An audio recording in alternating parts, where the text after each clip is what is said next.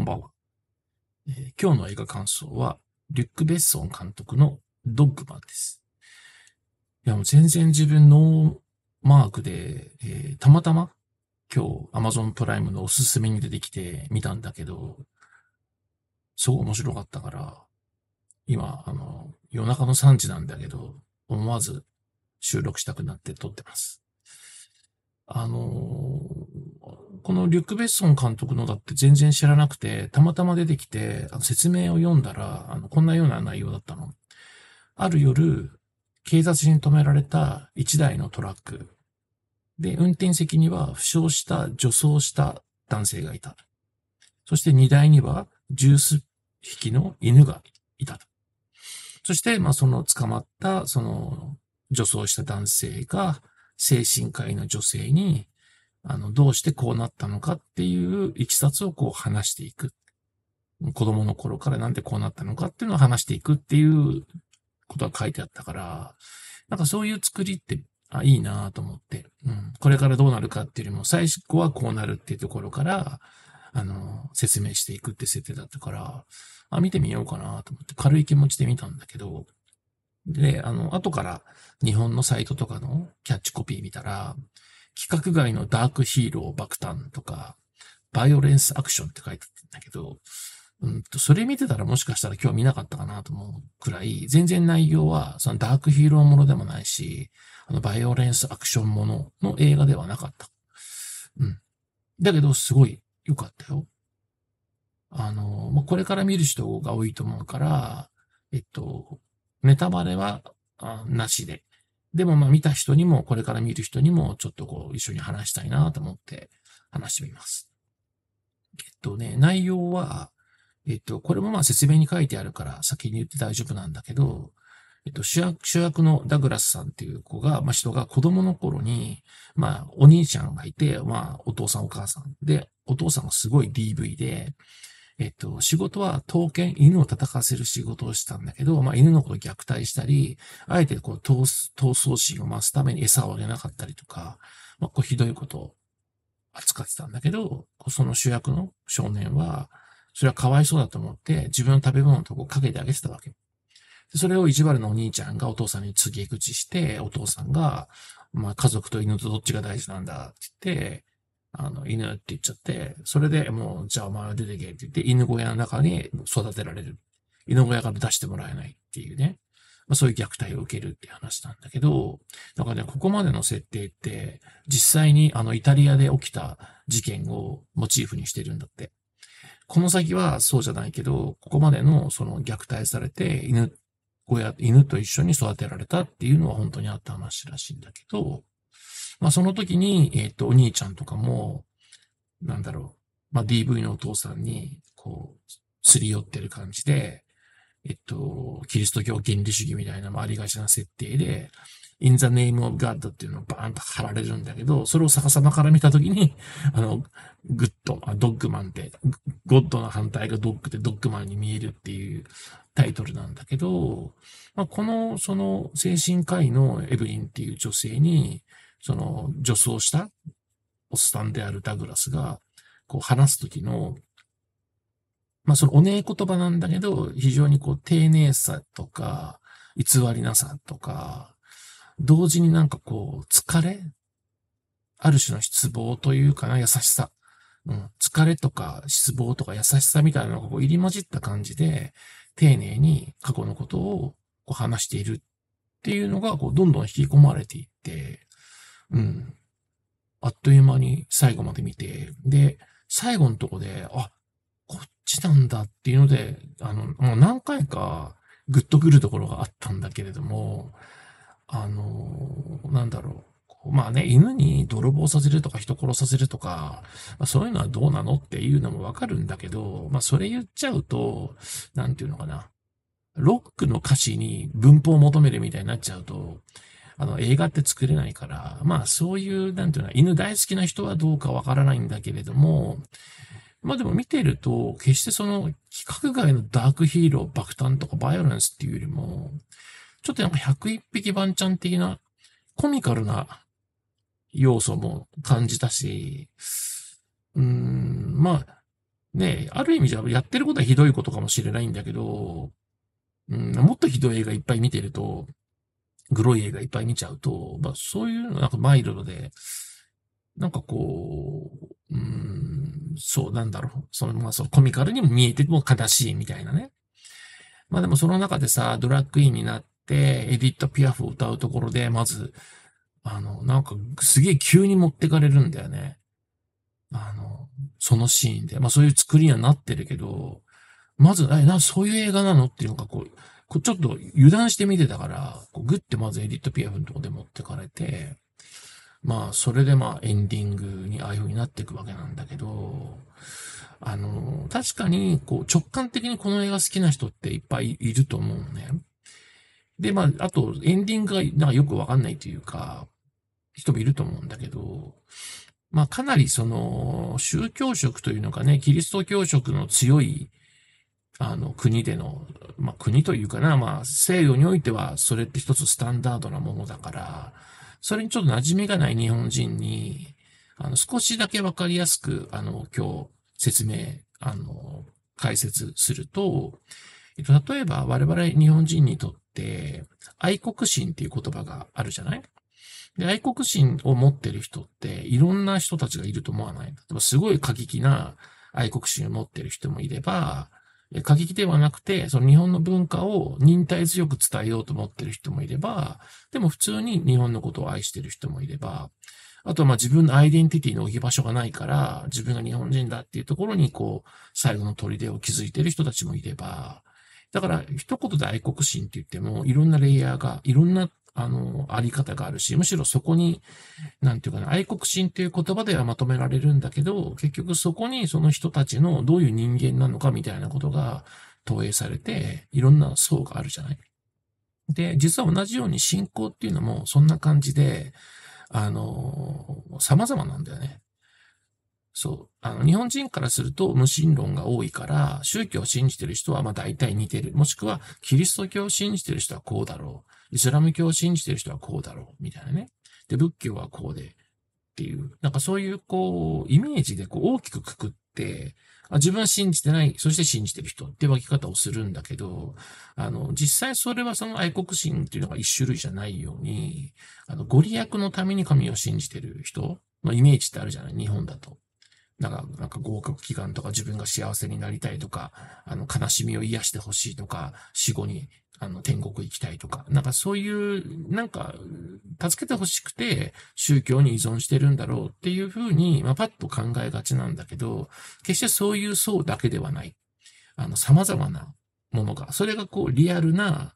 うん、世界観というかな、その信仰のいろんなものがあると。だからこの映画で言えば、お兄ちゃんみたいな、ね、in the name of God って貼っちゃうお兄ちゃんみたいなのもいれば、ね、そうじゃない人たちもいるっていうようなことなんだけど、まずちょっとそこの、こう、リアルさ、その、日本人からイメージする、あの、信仰、宗教っていうのは、一種類の、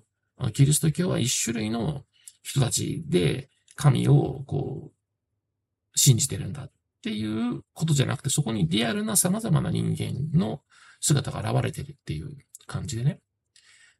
あの、その点、この同じく、その、リュック・ベッソン監督のジャンヌ・ダルクって映画あったと思うんだけど、あれも、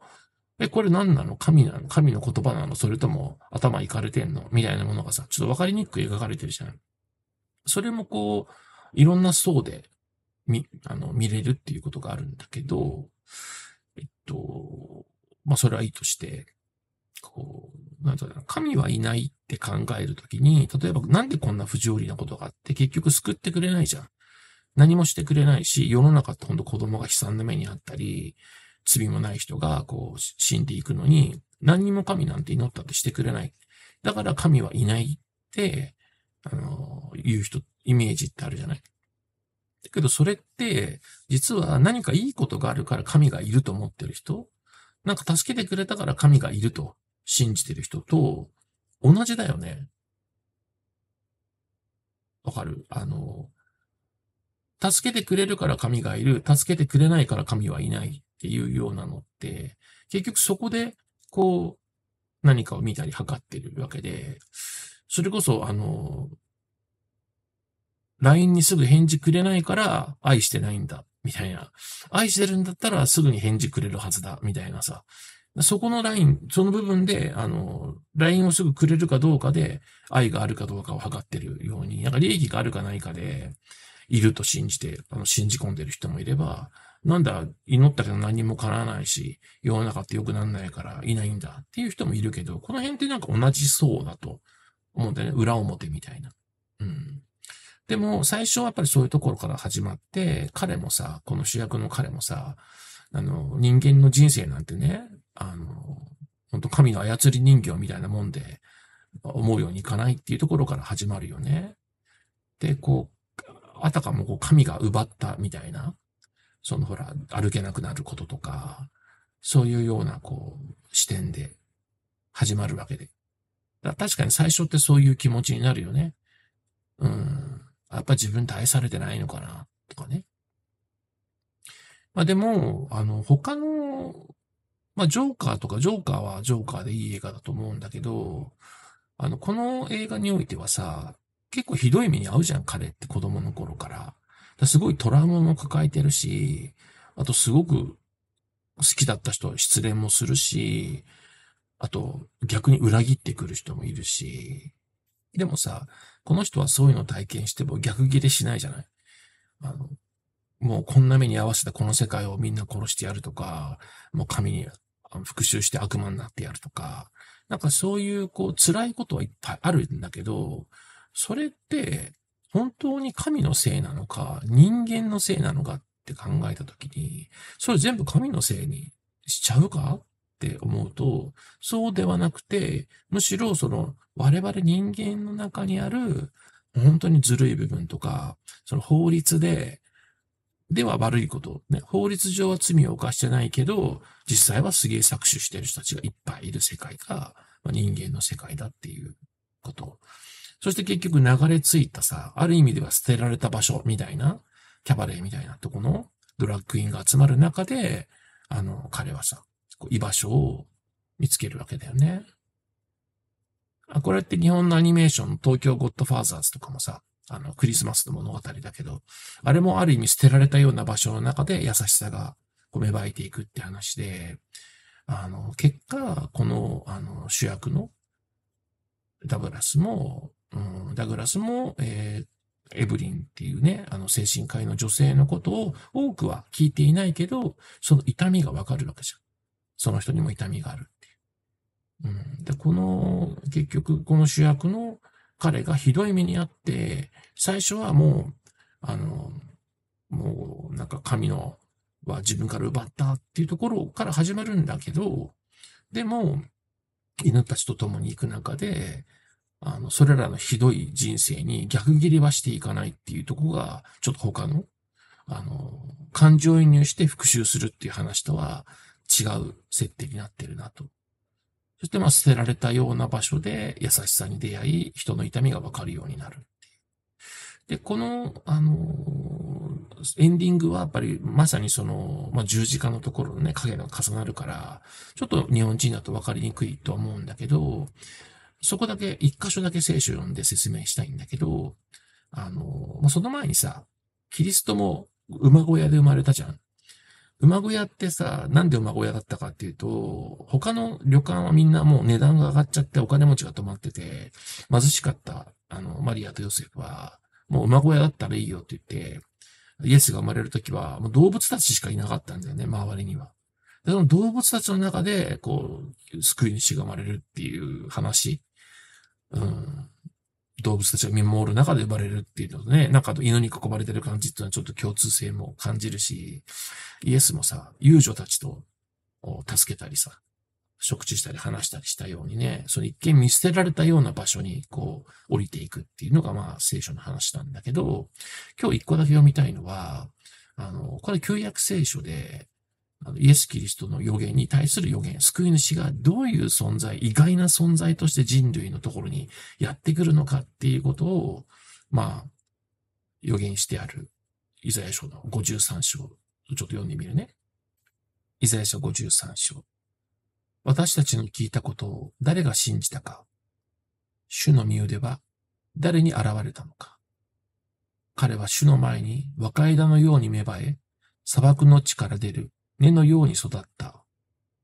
彼には私たちが見とれるような姿もなく、輝きもなく、私たちが慕うような見栄えもない。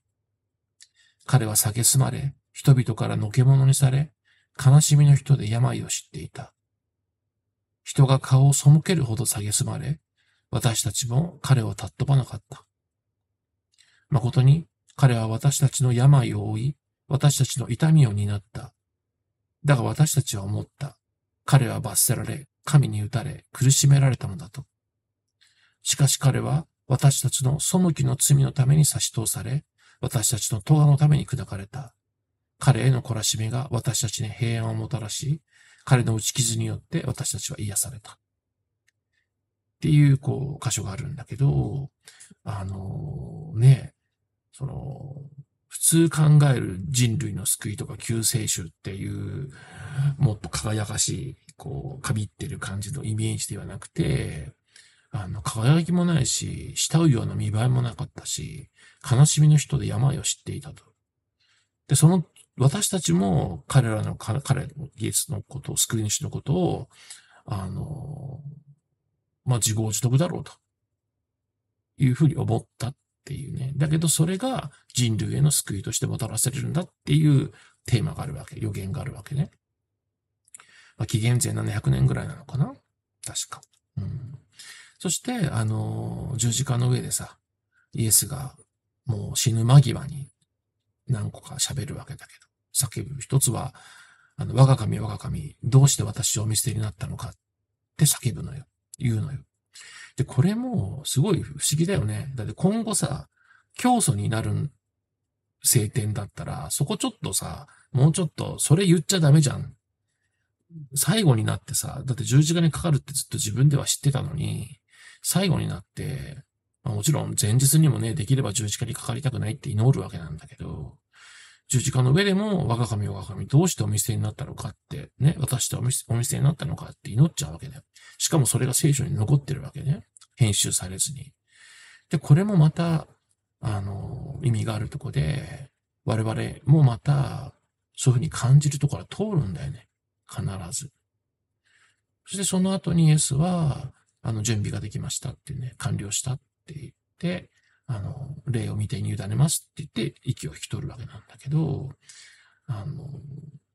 ね、なんでこれがそもそも救い主なのかっていうのは、ご利益を求める人たちっていうのは、十字架にかかってるって殺されてる人を信じないんだよね。だって自分が死にたくないんだもん。自分が死にたくないのになんで死ん死んじゃってる人をさ、信じる必要があるのか、殺されてる人を信じる必要があるのか。当時も、あの、イエスに、十字架の上のイエスに、降りてきたら、今ね、あなたが降りてきたら信じるよ。降りてこいと。言って、まあ、唾をかけたり、罵った人たちがいるわけだよね。同じようにさ、あの、こうしたら信じてやる。こうしたら神だ。でもお前って惨めじゃん。ひどいじゃん。っていうことを言っているのに、まあ、なんでそこに、あの、救いの道があるっていうことを信じてる人がいるのかっていうことなのよ。不思議なのは。もちろん狂信的にね、その自分の正しさを強化するため、この映画の中に出てくるお兄ちゃんみたいに、あの、神の名においてとかって言って、正当化のために神を使う人もいれば、あの、自分の価値観が人よりも正しいんだっていうことのために、それを使う人がいると。まあ、それってなんか愛国心とかも、こう、過剰に使う人もいるのと同じで、うんと、そういう人たちが、まあ、なんていうかな、あの、宗教を信じてる強いイメージ代表みたいに聞こえちゃってるけど当然そういう話ではない。だってこのさあのお兄ちゃんがやってるようなことっていうのが聖書とかイエスが正しいと思って言ってるわけないじゃん。それくらいはね読んだことなくてもさわかるじゃん。だから要はその人間がどういうふうにそういうものを勝手にあの都合よく使っていくのかと。でそういうリアルな世界の中で彼はこういう道を通るんだけどあの勉強するとかそういうことではなくて、まあ、犬たちと生活する中で彼はそこに至るんだよね最後。だからあの最後のシーンで見てね十字架の前でさ見てあなたのために自分の足で立っている。こうして立っている。準備はできている。いつでもいいって言ってまあ死んじゃうわけなんだけどまあその死ぬっていうのはまあね歩けばねあの運が悪ければその死んじゃうというか脳の、ね、液が出ちゃって死んじゃうって言われてたわけだけどあ髄液かごめん髄背骨のね髄液が出て死んじゃうっていうことになってたわけだけどこのさ準備ができているっていうのとそのイエスが十字架で言っている準備ができている完了したっていうの。そして我が神我が神どうしてお見捨てになったのかっていう痛みとそのあの、まあ、彼が感じてきた救いのないような痛みとしかしその痛みを通すことによって彼はあの見捨てられたような場所に降りていきながらあの世の中の善とか世の中の法律っていうあの外にいながらも、えっと、人の痛みとかをすぐにかんちゃんと感じられたりその、うん、答えることができる風になってるわけだよね。そしてこういう非常にこう一見痛ましい道を通るがあのなんで彼がねそこに至ったかっていうのは彼しかやっぱりわからないんだよねそれは。うん、あのもう個人全く個人的な出来事だからこういう原理でこうこうこうだから神はこうだとかそういうことじゃなくてそれぞれがそのいろんな中を通りながらもなんでなんだっていうこうねこうどうしてなんだって思いながらこう人生を生きていく中で最初のあのいいことあったら神信じるいいことないから神なんかいないんだって言ってる幼稚な段階から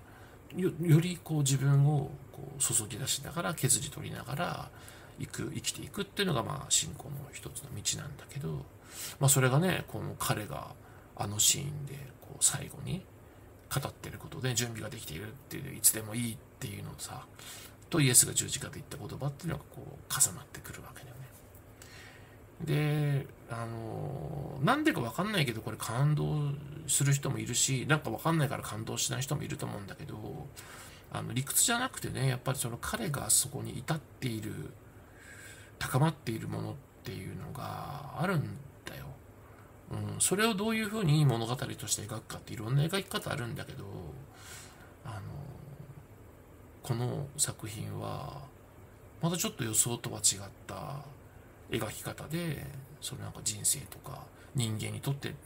どういうこう道があるのかというのかな。救いの瞬間個人的なだよ、うん、みんな同じようにするっていうことじゃなくてね、うん、